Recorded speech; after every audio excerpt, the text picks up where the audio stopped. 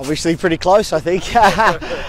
um, no, obviously, um, you know, Milos has been here five years. Um, he's part of part of the family at Sydney FC now, and um, we're very happy, obviously, to re-sign him for another two years. And like you said, you know, it's only another two years. Maybe he wants to play longer after that. We'll have to wait and see. But uh, you know, I'm pretty sure he'll be at the club for the rest of his playing career, and I think beyond that as well. Did you think you'd lose him?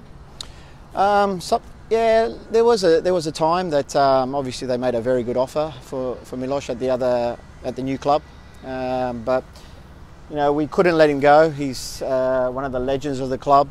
Uh, like I said, he's been here five years. Probably one of the best players to go around in the A League, and um, you know we wanted to keep him as simple as that. And um, we're very happy for him to stay another two years, for his family to obviously stay as well. They they love life in Sydney and um, yeah, we're very pleased that we, we got him to resign. We've seen what he does on the field. What does he bring to the club and to the dressing room as well? Well, you just heard him. He's, he's such a nice man. Uh, his family's lovely. Um, you know, the moment he got here, uh, the culture that we have at the club, he, he fitted in straight away. He's, he's great for the dressing room, great for what we're trying to achieve with the players that we bring in. Um, and of course, the number one, he's, he's a top guy, but he's a, he's a wonderful footballer. And like I said, he's one of the best going around still.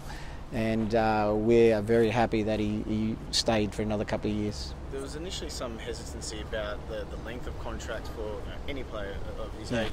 You, what, what prompted you to roll the dice for a two-year contract?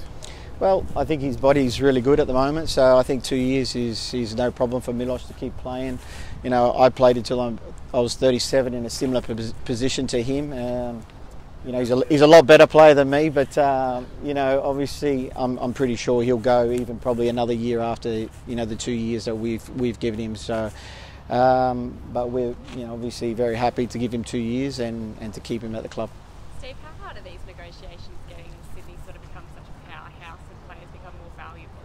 Yeah, it, it is difficult. Obviously, you know, especially when a new club comes in, I think that's the most difficult time, and especially when, when they're from Sydney. Um, you know, they seem to look straight for our players, and which is I think is understandable, and we understand that they made the offer to, to Milos because, uh, like I said, he's the best player going around, and um, only natural that you know a, cl- a, new club coming in with you know a little bit more money that they can spend. It's uh, to throw it about, and um, you know he's not the only player that we've had you know other offers for as well um, at the club. And um, like I said, we're we're very happy to have Milos re-sign, and now you know it's up to you know we've got a, quite a few more players to, to do in the next you know hopefully in the next couple of weeks.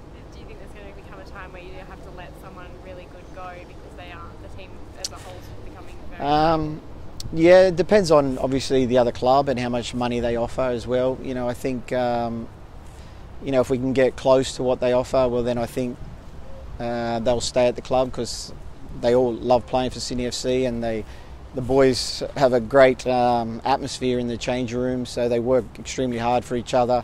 They have a great bond, and um, you know, if we can get close to something what they offer, and I think the boys will definitely stay because they, they want to win trophies. They want uh, they want to be here and and um, you know do what they do best, and that's win games. Steve, seen players like